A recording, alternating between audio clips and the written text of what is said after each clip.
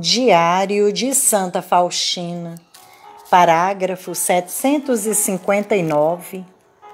Quando pela primeira vez experimentei esses sofrimentos, foi do seguinte modo: um dia depois dos votos anuais, durante a oração, vi uma grande claridade Dessa claridade saíram raios que me envolveram, e com isso senti uma dor horrível nas mãos, nos pés e no lado, e os espinhos da coroa. Eu sentia esses sofrimentos durante a Santa Missa, nas sextas-feiras, mas isso durava apenas um breve instante.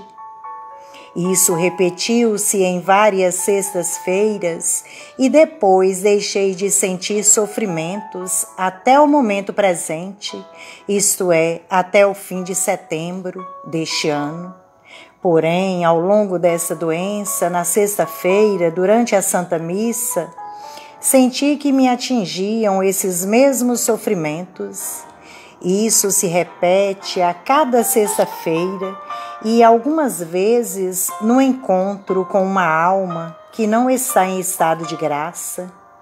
Embora tal sofrimento seja raro e dure muito pouco, não deixa de ser terrível. Sem uma especial graça de Deus, não o suportaria. Exteriormente não tenho nenhum sinal desses sofrimentos. O que vai acontecer a seguir, não sei seja tudo pelas almas. Ó sangue e água, que jorrastes o coração de Jesus como fonte de misericórdia para nós, eu confio em vós.